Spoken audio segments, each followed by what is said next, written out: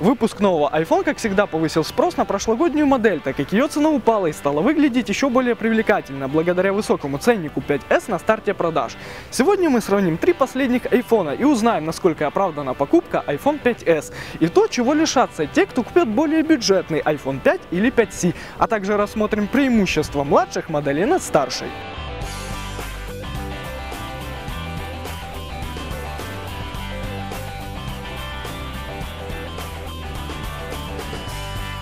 Комплектация у всех устройств идентична. Документация, шпилька, наклейки, адаптер питания, Lightning кабель и гарнитура и AirPods. Отдельно хотелось бы отметить достойное звучание наушников, а также Lightning коннектор, который по совокупности отказоустойчивости, удобства в использовании и компактности субъективно является лучшим из применяемых в смартфонах решений. Сравнение самих гаджетов начнем с их корпусов. Внешность iPhone 5 и 5s схожа. Смартфоны преимущественно выполнены из алюминиевого сплава. Подавляющая часть корпуса корпуса анодирована, чистый алюминий поблескивает только на снятых по краям фасках, логотипе и маркировках на тыльной панели. Также сзади можно обнаружить вставки, которые выполнены из закаленного стекла, из него же изготовлена и вся лицевая панель. Но идентичными корпуса назвать нельзя, на это есть несколько причин. Первое, что бросается в глаза цвет. Оба цветовых решения являются темными в своей линейке, только iPhone 5 черный, а 5s серый, или как его называет Apple, Space Gray. S в данной ситуации выигрыше, так как в отличие от черной краски тонировка не лишает ни полированного, ни анодированного алюминия его естественной красоты и к тому же не должна облазить, в отличие от черной краски, iPhone 5.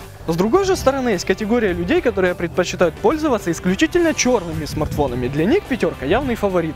Также, судя по отзывам, в более поздних моделях краска держится гораздо лучше, так что проблемой облизания можно пренебречь. Также в новом смартфоне повысилась точность подгонки элементов. К примеру, исчезли зазоры между корпусом и механическими кнопками на торцах, что было актуально для пятерки. Сами же кнопки стали чуть туже нажиматься и кликают более уверенно, что вселяет надежду в более длительный ресурс механических клавиш, которым к сожалению, не мог похвастать iPhone 5. Большинство элементов управления у всех девайсов находится на привычных для iPhone местах, разве что у 5s вспышка сдвоенная и есть сканер отпечатков пальцев, спаренный с кнопкой Home.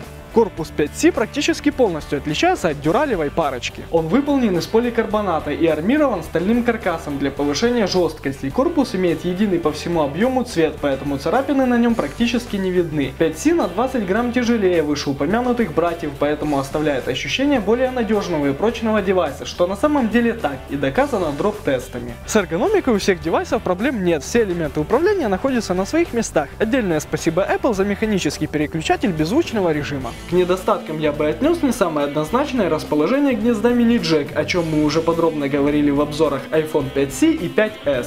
Субъективно мне больше всего понравился 5C, так как его округлый пластиковый корпус в руке лежит получше угловатого алюминиевого. Также поликарбонат более практичен в быту, так как лучше отрабатывает механические повреждения. Если же говорить в целом, то у каждого материала есть свои достоинства и недостатки, поэтому назвать единогласного победителя здесь нельзя. Каждый найдет себе что-нибудь свое. Дисплей всех трех гаджетов идентичны, мы как-то даже начали их сравнивать, но поняли, что это бессмысленно. Диагональ каждого 4 дюйма, разрешение 640 на 1136, плотность пикселей 325 ppi, углы обзора, цветопередача и диапазон яркости всех экранов близки к идеалу. Аппаратная платформа у iPhone 5 и 5C состоит из двухъядерного процессора Apple Apollo 6, работающего на частоте 1,3 ГГц, видеоускорителя PowerVR SGX 543 MP3 и 1 ГБ ОЗУ. Оба смартфона доступны 16 и 32 ГБ встроенной памяти. Для iPhone 5 также доступен вариант на 64 ГБ. В iPhone 5s пашет 64-разрядный двухъядерный процессор Apple A7, тактовая частота которого составляет 1,3 ГГц. Информацию датчиков обрабатывает модуль M7, а видео жует PowerVR G64 4.30. Оперативки 1 ГБ, встроенной памяти 1632 или 64 ГБ на выбор пользователя. Одним из аппаратных превосходств iPhone 5s является сканер отпечатков пальцев Touch ID, который повышает безопасность, аутентификации и упрощает жизнь. Более подробно о нем мы рассказывали в обзоре iPhone 5s. Производительность железа очень высокая, что доказывают результаты синтетических тестов. К примеру, тот же мультиплатформенный 3D Mark наградил 5s баллами, аналогичными Android флагману LG G2, тогда как как показатели на 5 и 5C гораздо ниже. Синтетика это хорошо, но работа в реальных нагрузках куда важнее. Одним из главных показателей производительности системы являются игры. В этом плане все испытуемые круты, так как без проблем тянут современные требовательные игры на самых высоких настройках графики. С более простыми приложениями или интерфейсом проблем и подавно ни у кого нет. По сути это значит лишь одно, производительности iPhone 5 и 5C с головой достаточно на данный момент, а вот дальнее будущее весьма туманно, в то время как запас мощности iPhone 5s просто огромен и его хватит как минимум еще на пару лет. Несмотря на различные емкости аккумуляторов, автономность девайса находится на приблизительно одинаковом уровне, около двух дней плюс-минус пару часов в среднем рабочем режиме. С нагревом же ситуация иная. Так как железо в 5 и 5C схожие, то и греются они одинаково слабо. Даже при длительном гейминге корпус нагревается незначительно, причем пластик кажется менее горячим благодаря невысокой теплоотдаче. Тогда как 5S нагревается существенно сильнее, оставая теплым даже в примитивных задачах типа камеры или браузера. В играх же нагрев настолько ярко выражен, что создает ощутимый дискомфорт. Звучание в наушниках у всех девайсов одинаковое, хорошее, но как для 2013 года уже не блестящее. Качество звука динамика iPhone 5 гораздо ниже, чем у 5s и 5c, хотя если использовать его в качестве будильника, то это скорее всего достоинство. В других же случаях это явный недостаток, так как даже приятный мелодичный рингтон на этом девайсе звучит довольно противно. В противовес этому стоит отметить, что iPhone 5 единственный из тройки является обладателем FM приемника, что для многих пользователей очень важно. Работа модулей связи в новых моделях стала немного лучше по сравнению с iPhone 5, но идеально ее до сих пор назвать нельзя. Даже мой древний Nitro HD теряет связь реже и лучше ищет точки доступа Wi-Fi. Камера в iPhone 5s однозначно лучшее решение, которые были установлены в 5 и 5C.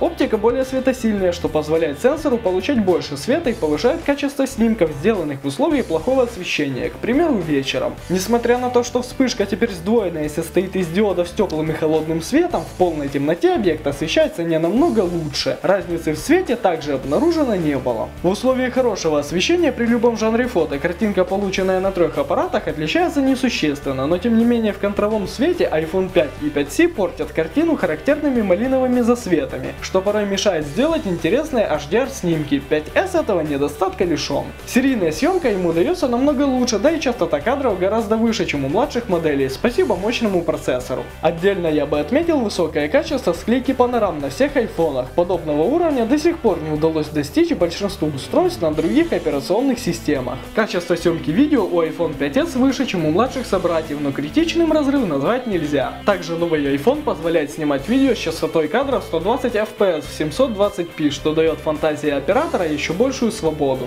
Полноразмерные примеры фото и видео доступны по ссылкам из описания к этому видеообзору. Программная составляющая iPhone 5 была представлена iOS 6.1.4, но сравнивать разные смартфоны одного производителя на разных версиях операционной системы бессмысленно и беспощадно, поэтому мы обновили все девайсы до 7.0.3. Плавность работы системы по сравнению с первыми версиями семерки существенно возросла. Теперь разницы в работе интерфейса на всех трех устройствах просто нет. А вот на стабильность работы системы обновление, судя по всему, не повлияло, так как 5S до сих пор ребутится и зависает, когда ему вздумается, раз даже выключился просто лежа на столе. Хорошо, что подобные сбои происходят не чаще, чем раз в пару дней. К слову, менее производительные братцы не опечаливают ситуацию подобными глюками, мешающими выполнять текущие задачи. Подводя горизонтальную черту, начнем с цены. 16-гигабайтная версия iPhone 5C в Украине стоит 4500 гривен, тогда как аналогичный iPhone 5 5500 тысяч гривен. iPhone 5s с накопителем на 16 гигабайт обойдется вам в 6,5 тысяч гривен. При этом получается, что покупку iPhone 5 на 16 гигабайт можно заменить 5C на 32 гигабайта, а iPhone 5s на 16 гигабайт стоит приблизительно столько же, сколько и iPhone 5 на 64 гигабайта. iPhone 5C при самой низкой цене является доступнейшим из актуальных iOS смартфонов, так как хорошо работает в данный момент. Я сомневаюсь, что в течение года что-то изменится. Также на его стороне эргономичный поликарбонатный корпус, который в быту себя проявляет во многом лучше аналогов, выполненных из алюминиевых сплавов. iPhone 5 находится посередине как по ценовому признаку, так и по логике вещей, ведь он совмещает в себе относительно доступный ценник и солидный алюминиевый корпус, который по достоинству оценят любители премиальных вещей. Также он имеет в своем арсенале FM-радио, которым остальные похвастать не могут. Как и предыдущий глянцевый красавец, устройство не обладает сверхмощным железом, но его производительности на данный момент достаточно, и оно может удовлетворить потребности даже заядлых игроманов.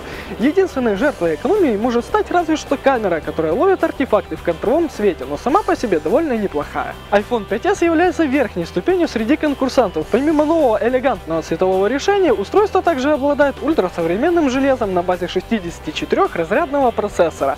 Толку от этого железа пока что немного, так как работает оно не лучше прошлогоднего, дико греется, и к тому же сбои из-за кривоватой оптимизации пока что не редкость. Но программные ляпы скоро исправят, а работу камня оптимизируют. И в таком случае железо обеспечит устройству еще как минимум несколько лет уверенной актуальности, что нельзя не учесть. Также стоит учитывать и камеру, которая намного лучше решений, применяемых в iPhone 5 и 5C. Многим понравится Touch ID, который совмещает в себе безопасность и простоту в одном техническом решении. Если учесть все вышесказанное, то становится понятно, что ценник весьма оправданный, ведь покупая девайс за такие деньги, рассчитываешь как минимум на пару лет верной службы, а 5S в этом плане не должен разочаровать. Хотите больше узнать об этих гаджетах, смотрите обзоры у нас на канале или переходите на наш сайт, там доступны более расширенные текстовые версии. Редакция Ferrum.com благодарит магазин Manzana UA за предоставленные на тест iPhone 5, 5C и 5S. Это было видео на сайте Ferrum.com. Мы ждем ваших пальцев вверх, подписок на канал, а также в гости на нашем сайте в группах социальных сетей. Всем спасибо за просмотр, пока! И узнаем, насколько оправдана покупка iPhone 5s и то, чего лишатся те, кто купят более бюджетный iPhone 5C, а также рассмотрим достоинство младшего аппарата над старшими. О! На стабильность, судя по всему, обновление не повлияло, так как 5S до сих пор ребутится и зафи... зафисает, когда ему встумается. На стабильность, судя по всему, на стабильность, судя по всему, обновление не повлияло, так как 5S до сих пор зависает и ребутится, когда ему вздумается. Раз даже выключился, просто лежа на столе. Радует, что подобные сбои случаются не ражи... Не ражи.